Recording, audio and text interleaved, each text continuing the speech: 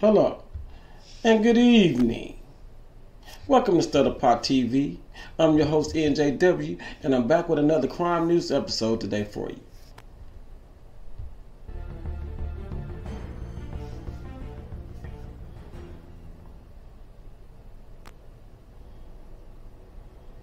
Authorities are investigating after a 30 year old woman was found fatally shot.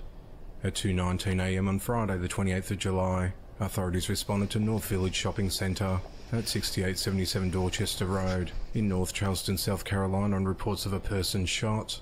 When officers arrived, they were flagged down by a crowd in the parking lot outside the Bloom Room restaurant and found an unresponsive woman on the ground with a gunshot wound, with people attempting CPR on her. Medics arrived and took over performing life-saving measures and transported the woman to Centre Point Emergency Room, where she died at 2.57am. The Charleston County Coroner identified the victim as Mayor Jennifer Simmons of Ladson. No arrests have been made to date, and the motive of the attack is unclear, as the investigation into the matter continues.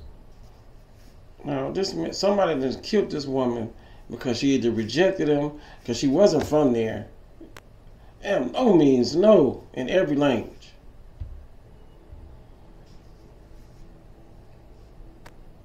A 31 year old man was fatally shot during an album release party. At around 3.25am on Saturday, the 29th of July, authorities responded to the exquisite event space at 1890 East Parkway in Brooklyn, New York on reports of a shooting. When officers arrived, they found Cameron Hall of East Flatbush with gunshot wounds to his chest. He was rushed to the Brookdale University Hospital in a critical condition, but he could not be saved. Guests were celebrating the release of a Caribbean musician's newest release. The name of the performer has not been disclosed. Why does The matter? celebration included a mini concert. Witnesses told police that Cameron got into an argument with another man. As the dispute escalated, the suspect pulled a gun and fired several shots, hitting Cameron in the upper torso. The music at the club immediately stopped and the gunman fled the the scene. Neighbours reported hearing fighting and screaming at the noisy party before police arrived. No arrests have been made to date, as the investigation into the matter continues. So ass whippings are just out the question nowadays. Men just cannot take a butt whipping no more. Ooh, I'm so glad I changed my ways.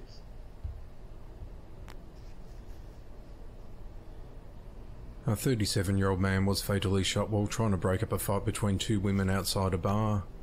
At around 4 Mind your business. That's the lesson here today. Mind your business. 4.30am on Saturday the 29th of July, authorities responded to 772 Richmond Terrace in New Brighton, Staten Island, New York on reports of a disturbance. When officers arrived, they found a man identified as Rashim Flanders on the ground outside the Shakers Bar in a critical condition with a gunshot wound. First responders rushed Rashim to Richmond University Medical Centre where he was pronounced dead. Authorities learned that Rashim was leaving the bar when he spotted two women fighting outside. When he intervened to quell the fight, another man came forward and shot him in the head. The two women remained on scene, however, the gunman ran away. Detectives are reviewing surveillance footage from the area that can help them identify the gunman. Rashim lived in Hill Street in Clifton, less than three miles away from the shooting scene. Rashim's mother, Jane Atkins Moyen, said that he didn't make a habit of hanging out at the bars, and that he could usually be found at home most nights with his two sons aged 9 and 3. That sounds like something else. That sounds staged to me, if you want to know the truth. Two women fighting, all of a sudden he gets shot. Yeah, right. Got a tattoo the afternoon prior to the fatal shooting that read the words Life Eternal. His mother said that was an affirmation of his belief in the afterlife. No arrests have been made to date, as the investigation into the matter continues. Myron Faith Bowie is wanted by police after setting his girlfriend on fire and threatening to kill a family. At 4.47am on Sunday the 30th of July, authorities responded to a home in the 24,500 block of 86th Place in Kenosha, Wisconsin after America is getting violent and more violent. God dog, you done set the lady on fire because she, she didn't want you no more? Lord. woman rang 911 to say boyfriend had set her on fire and that she needed help.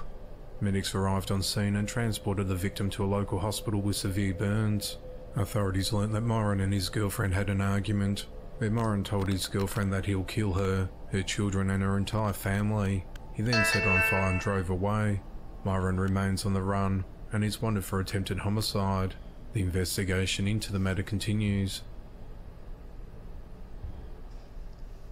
Now, what, what, what should he have done to himself since he set this lady on fire? Because they're going to catch him. Set this lady on fire. You men need to get y'all shit together. I'm speaking to I'm by myself too. Get my shit together too. 73 year old Rodney Lee will spend the rest of his days behind bars after fatally shooting his neighbours 62 year old Sormatu Gassio and 57 year old Tibor Laszlo for turning off a tap. On Monday, the 31st of July 2023, Rodney was sentenced to 30 years for cutting off a tap. He already in a wheelchair. He shot. Y'all let him shoot y'all. Well, one armed man can kill you. Prison after admitted to the double homicide. The shooting occurred on the night of the 13th of January 2022 at their apartment complex at 10 McDonald Street in Mordialloc, Victoria, Australia. Rodney was retired and had no family or friends, but he took a great interest in gardening and had taken upon himself to care for and nurture the gardens in the common areas of the complex. He would often leave the hose running to water the plants. He had increasing disagreements with several of his neighbours about leaving the tap running in the garden, as well as his concerns about others making too much noise, or accusations that some were making or doing drugs. On the day of the shooting, Rodney returned to the hose to find it had been turned off. Rodney shouted in anger, If you turn the hose off again, you bastards, I'll fucking kill you.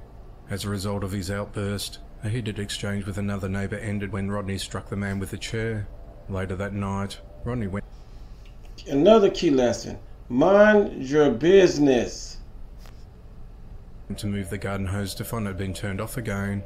Sormatu and Tibor were part of a group socialising in the common area at the time. Rodney confronted the group when Sormatu commented to Rodney that water is precious. Rodney then went to his apartment, grabbed a shotgun hidden under his bed, and returned to shoot Sormatu in the upper arm and chest. He then followed Sormatu and neighbours trying to help the injured man into another apartment, where he shot Tibor in the chest. Rodney also fired shots into another apartment. Police responded to the scene, and after a brief standoff, Rodney was arrested. Paramedics arrived. He wasn't playing about that water. Don't touch his water. I hate to see if it was alcohol. Often pronounced Sormatu and Tibor dead at the scene. While interviewed by police, Rodney confessed to killing the men, but expressed no regret or remorse in his actions, and perceived himself to be a victim. I've been provoked a bit, haven't I? He asked police. Well, the key lesson to this episode today is if it's not none of your business, mind your business. That's the lesson we got today. This has been another episode of Stir Da Pot TV. I'm your host, NJW. Hit the subscribe button at the bottom. Thank you for watching and see you guys next time.